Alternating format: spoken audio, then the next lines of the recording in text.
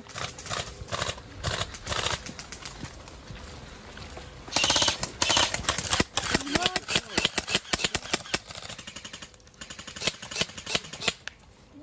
Yep, someone was hit then. Probably one at the front.